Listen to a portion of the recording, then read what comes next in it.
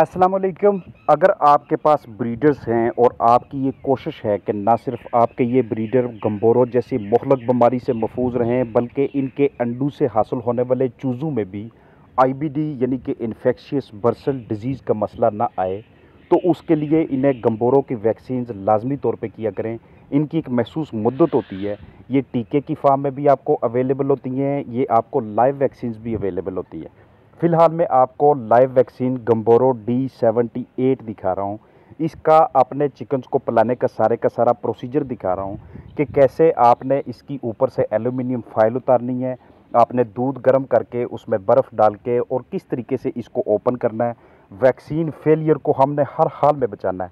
ये वैक्सीन किस लिए की जाती है? जिस वक्त चूज़े अंडू से निकलते हैं, वो अपने साथ माँ की तरफ़ से कुछ एंटीबॉडीज़ लेके आते हैं, कुछ ताकत लेके आते हैं।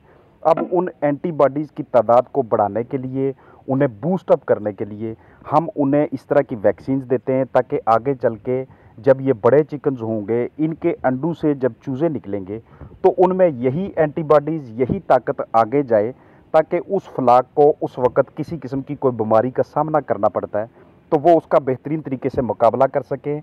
उनके अंदर पहले से ही अच्छी सी कूत मदाफ़त मौजूद होनी चाहिए।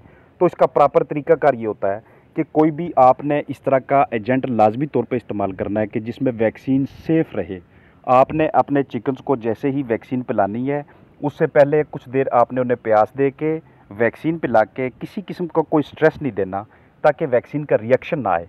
अपने पास इसका रिकॉर्ड हम महफूज कर लेते हैं, ताकि बाद में किसी किस्म का कोई मसला बनता है तो हम मुतलका कंपनी से रबता कर सकें।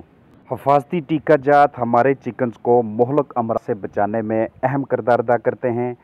अपना ख्याल रखिएगा। अस्सलाम वालेकुम ईद मुबारक।